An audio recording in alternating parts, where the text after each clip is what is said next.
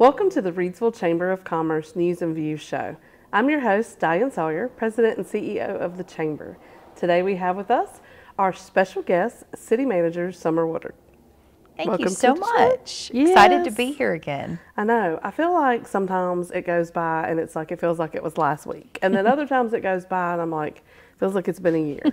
um, so because so much happens sometimes, I tell my board all the time, I never know what week of the month to take vacation because every week standard there's a standing something, whether it's city council or chamber board meeting or chamber coffee or and I'm like, you know, I always feel like I'm a I'm missing out on something. And so, because so much is jam packed into a month. So, when we go from month to month, so let's talk about it. It's it's springtime. It's it's time. It's it's all the pollen in the air, as you can hear.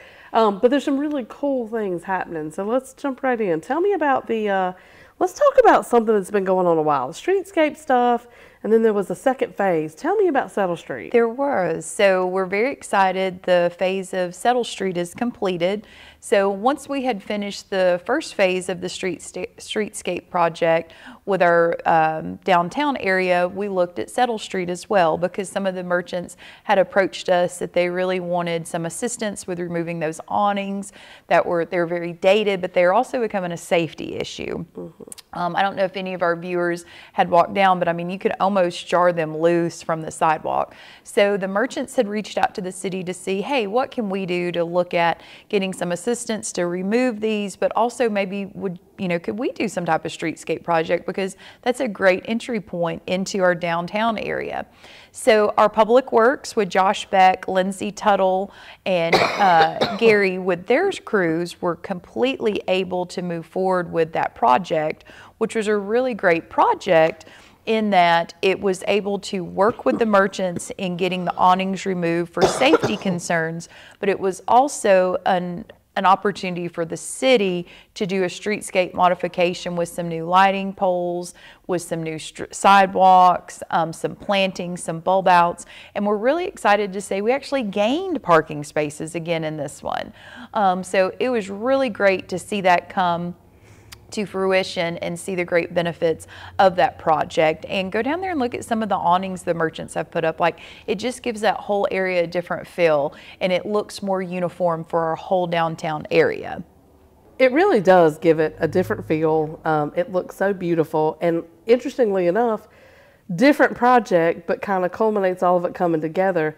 There's a little bitty quilt squares hiding around the corner right there I'm that so have been glad. covered up. Yeah, thank you for bringing that up. So that's another project we're working on. I know we've got a great partnership with you here at the chamber to maybe look at doing some type of unveiling and ribbon cutting. So stay tuned with that. But that, if you'll notice, that's a prime example of utilizing sources like for our paint grant. Um, please reach out to our Main Street Director, Robin Yount.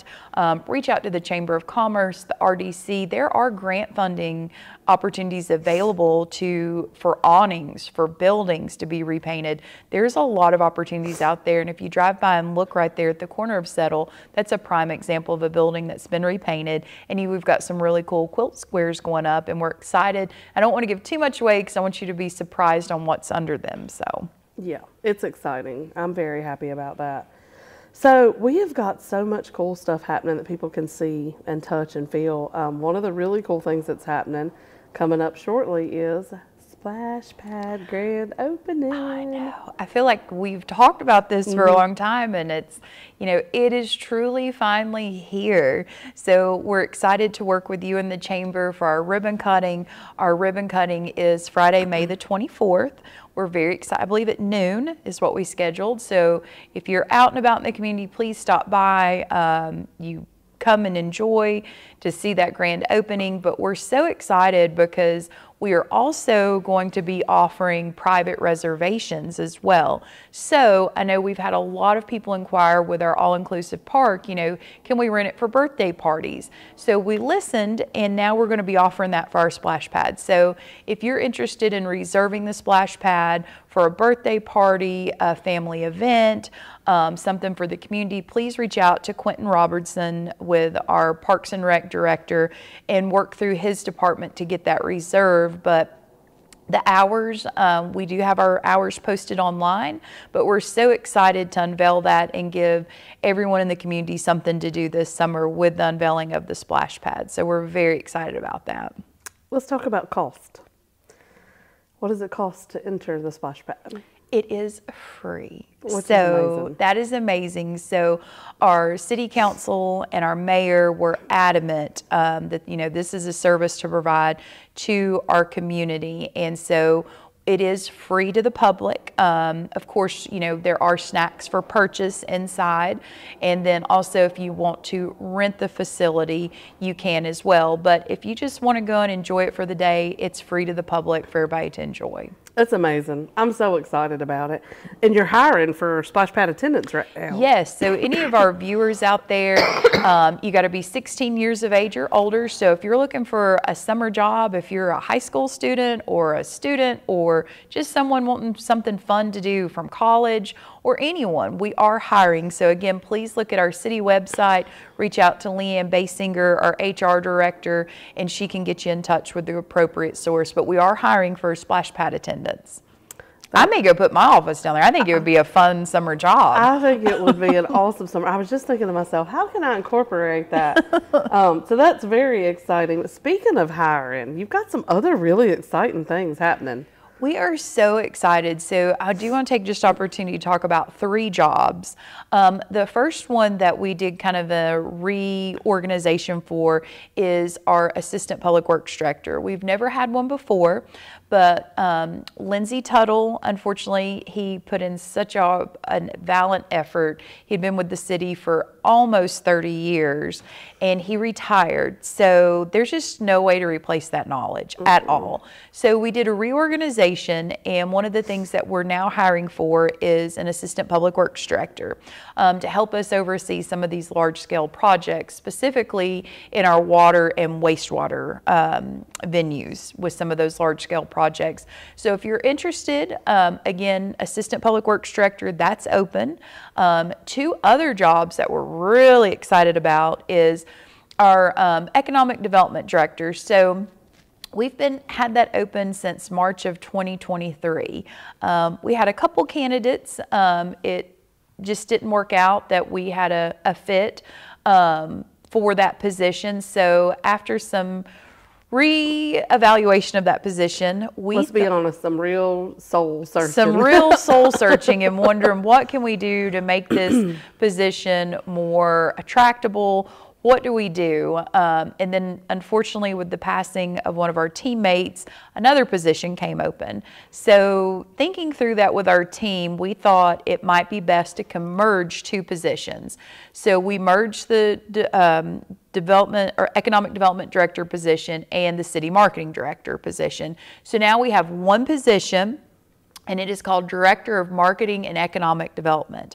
So by merging those two positions, it afforded us the opportunity to create another position, which I felt and our team felt that this was something we desperately needed. This is something you and I have talked oh, about. Oh, yeah. There just seems to be we all wear so many hats and when businesses whether they're businesses looking to expand whether they're new businesses looking to locate here or whether they're just businesses with questions about water and sewer about zoning who do they go to?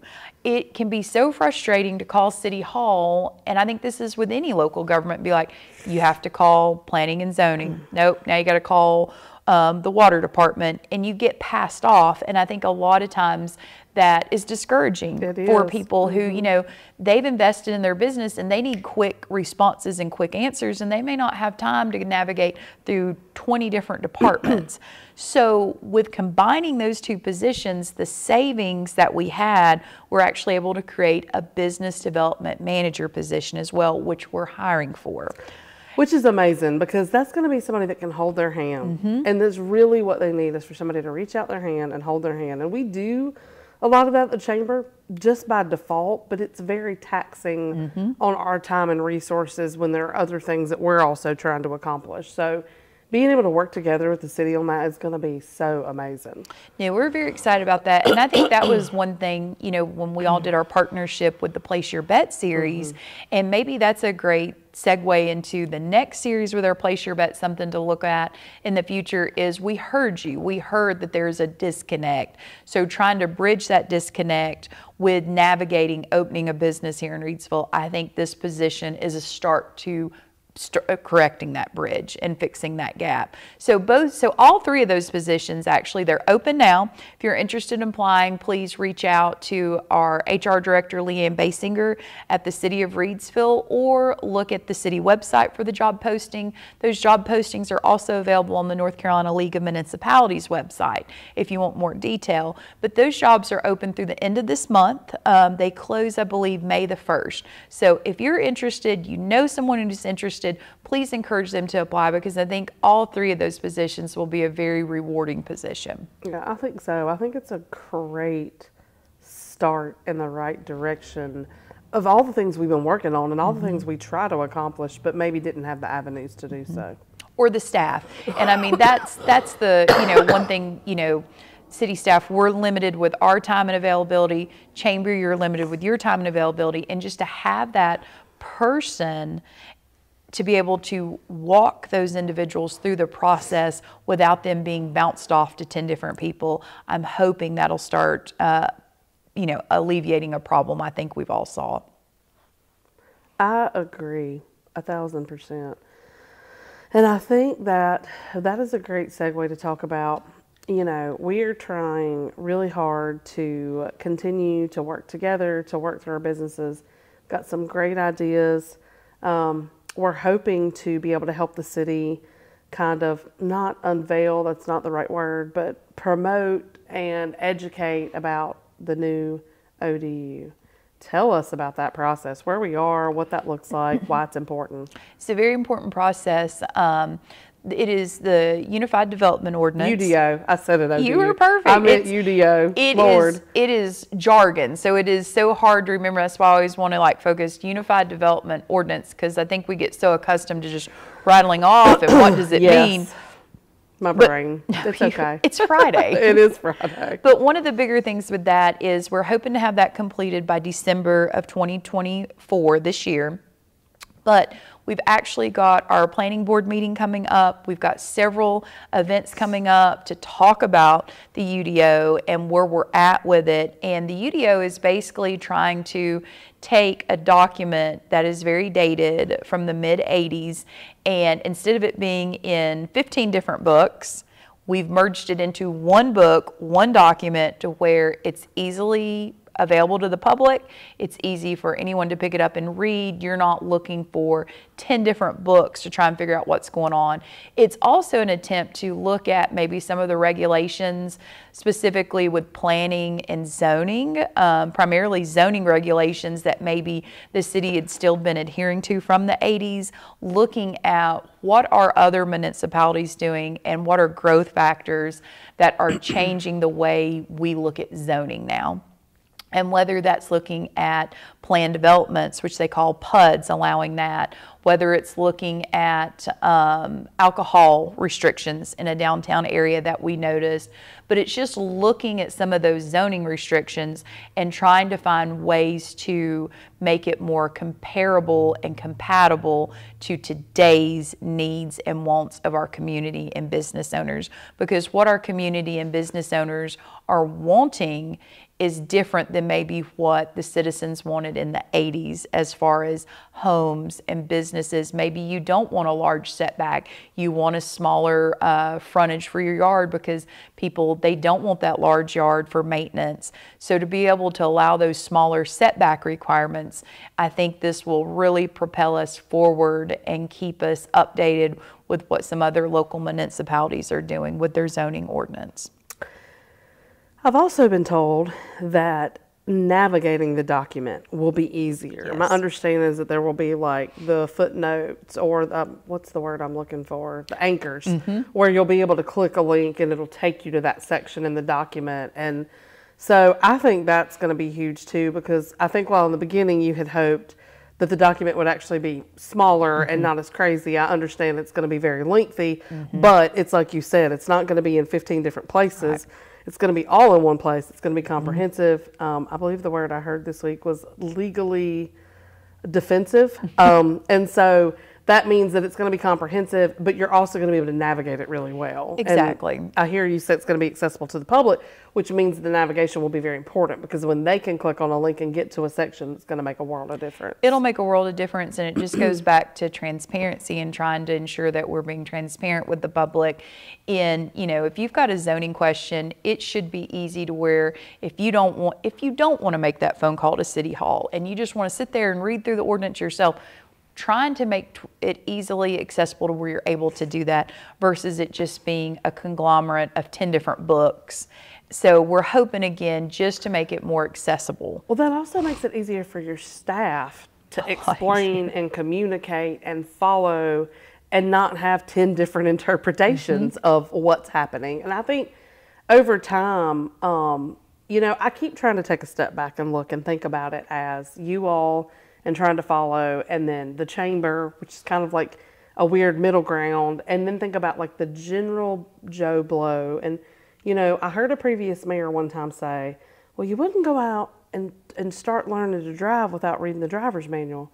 Yes, you would. People do it all the time, unfortunately. Like, so we have to really, while you shouldn't, while you should read the manual and you should know how to do things, a lot of times people's brains are wired, they just jump in feet mm-hmm. first and figure it out along the way by doing it. And so I do think that while you have to adhere to the things that the state says and the things that are your ordinances, we also can meet people where they are mm-hmm. and try to help them. Okay, I hear you. I'm excited for you. I'm glad you mm-hmm. did all this, but let's back up. And then if we follow A, B, and C, you should be golden. And like that's where we'll be.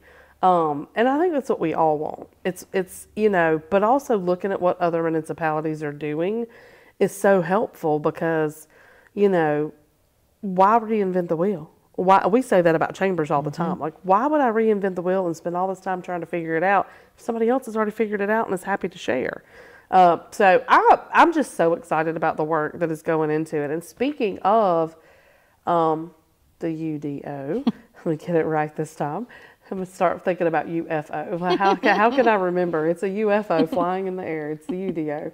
So now we're bringing it back home. And I think one of the things we can talk about is the footprint of the Depot District because that's part of between Social District um, and Depot District and expanding the footprint of downtown. That's kind of part of what brought all of this about. That and this other stuff and us hearing that people were struggling. So tell us about um, Lawsonville, the footprint of that, where we are, what the Depot District looks like. Absolutely. So, a couple of things um, we're really excited to talk about is with the Depot District and the former Adams Electric Building.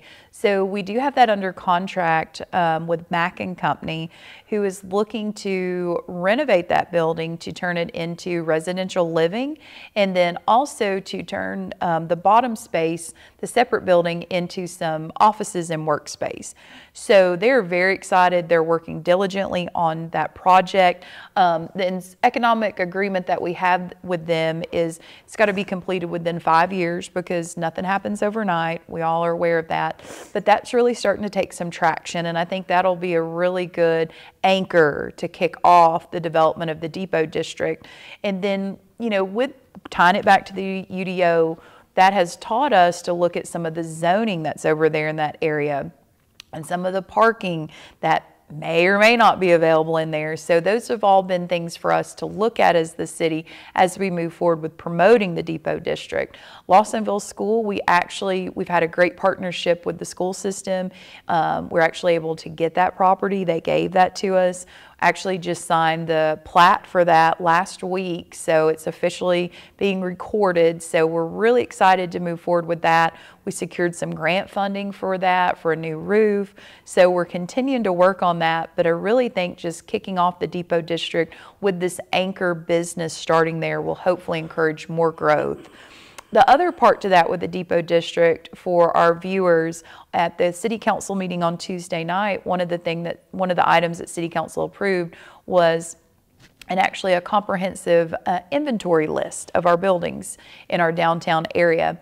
So we had talked about this for a little bit at our retreat back in February with City Council, and our city staff has done a great job through our Main Street program in having an updated inventory list.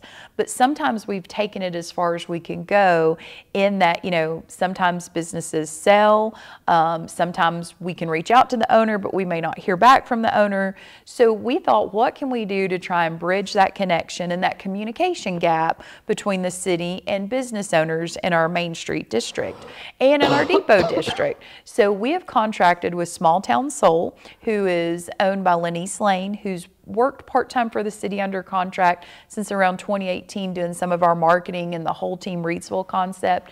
So we actually approved a contract with her where she's actually going to go and do a completed inventory list for all of our downtown businesses and our depot district businesses or buildings I should say to see exactly what are the state of the businesses are they vacant? Are they unoccupied? Are they for sale? And, you know, what is you as a property owner, what can the city do? What are you looking for? Are you looking to sell? Are you looking to renovate? What can the city do to help bridge this communication gap? And sometimes I think it's really good to have that third party because sometimes people just have a mistrust in government and they don't want to talk to a government official when maybe the government official is just wanting to say, hey, what can we do to help you with your building? So having maybe that third party person, unbiased opinion to try and mend those fences and gaps to see what can we do to make you successful in our downtown area, I think will go a very long way. She's actually going to start that project at the end of this month, and it's projected to take maybe six six to nine months to complete to get a true inventory list of what building inventory we have in our downtown area. It's really exciting, I think, because I think you're spot on. I think that there have been times where the Main Street director reached out. There have been times where council talked about mm-hmm. doing things, or the city man, previous city managers, um, the chamber. You know, we've all said, "How do we how do we do this?" Mm-hmm. And nothing that we tried to initiate really gained any traction. Mm-hmm. And I do think having an outside person, if they will just talk to her, Start, mm-hmm. um, I think she's, it's going to be, and she's, I mean, she's great to work with. So I think she'll be super successful. Um, I really hope if she needs anything that she'll reach out to us. I mean, we've worked with her before for y'all, so you know, I hope if there's something that we can do to help, that she'll she'll let us know.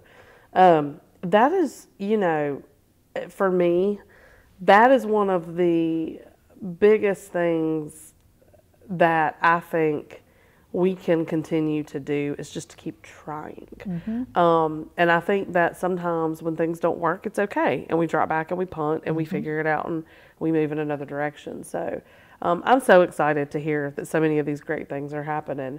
Um, you know, we found it really important that the viewers, that the community, that the business community hears these things because we're back to the same thing. We're all on the same team. Exactly. So, um, we had a lot of things we wanted to cover. We're running out of time. We got a few minutes left. Did we hit everything that you wanted to talk about? The only other thing I wanted us to maybe talk about was when we were talking about Main Street, let's maybe talk about, and you've been so instrumental on being part of our RDC board. And I kind of want to turn it over to you because you guys initiated this. Do you want to talk about your Main Street champion? Oh yeah, so we we do. We um, we're really excited.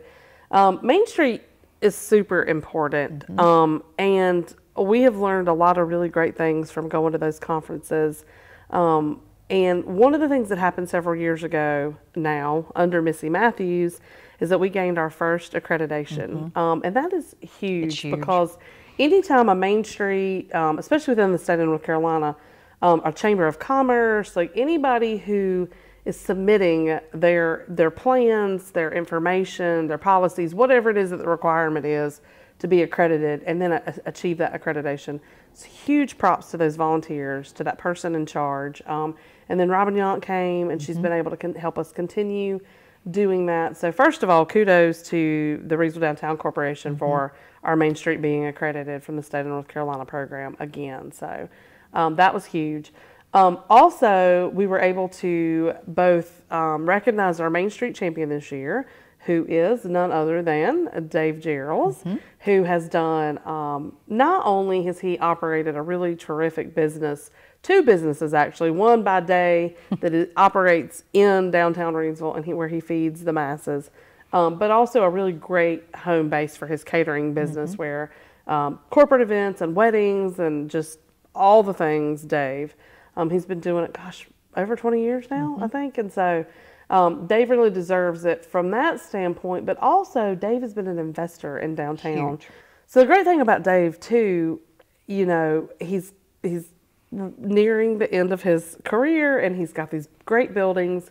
Um, he's you know invested and he is able to rent to folks, but also he has started allowing purchase of his buildings, which is really what we need. We need people to come in and to own. Um, I think he's even renting to people who may purchase buildings in the future. So we're just really excited about everything he has done. He's always supported everything, the events, stayed open for the events, um, and he really deserved to be recognized. Uh, the other thing that we received an award for was the all inclusive park and the idea behind that. Um, tell us a little bit about that. I'm gonna let you take the credit for that because it was a it was a huge conglomerate of multiple organizations that are both members of the chamber and some of them I'm a part of. But tell us about it. So that was a great opportunity. One of the things we actually, the city, um, and I was afforded the opportunity to actually, we were one of the guest speakers at the Main Street Conference this year in Goldsboro. We actually had our own session, breakout session, where you could come and hear about the all inclusive park. And one of the things in our presentation we wanted to hit on with our all inclusive park because we won a Main Street Award as well um, for um, outdoor activities in a downtown. And one of the things we wanted to focus on, it's so important to leverage partnerships. Leverage those partnerships. The partnership the chamber offers. Like that's a huge resource for people to be able to take advantage of all the connections that you have. So one of the things with our partners is we have a huge list of partners who we were able able to leverage um, their partnership with. You have the Lions Club, the Kiwanis Club, uh, Reidsville Area Foundation, and then you also have uh, the Rotary Club because of their donations and their willingness to partner along with the city partnering with American Rescue Funds, we created a state of the art park. It's the first park in Rockingham County that's an all inclusive park. And to be able to be recognized on a state level is huge for Reidsville. And the reason for that is again, leveraging those local partnerships. Absolutely. It's such a it's such a just amazing thing to see it all come together. Mm-hmm. It is. And something that we've been working on for a long time to continue to grow those. And you have been so instrumental in encouraging your team and encouraging City Hall and encouraging your staff to realize that you guys don't have to do it all by yourselves mm-hmm. and that you guys can get the support. And it's just been some you took things it's kind of like i see myself and not to toot our horns but i am going to toot our horns a little bit as somebody who came along and took some great things that were already happening by our predecessors but then taking them to the next level.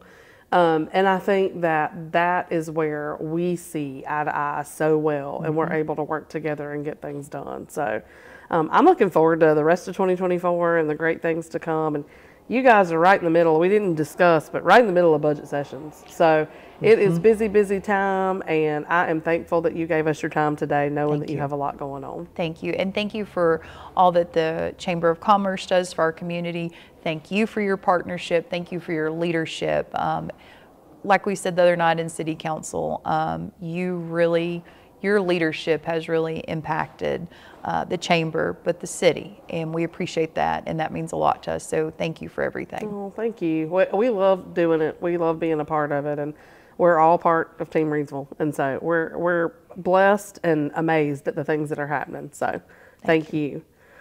Well, that's it for today's show, and you can always find us in the heart of downtown Reidsville at 140 South Scales Street on our social media channels and at www.reidsvillechamber.org. Thank you. Stay tuned, and we'll see you soon.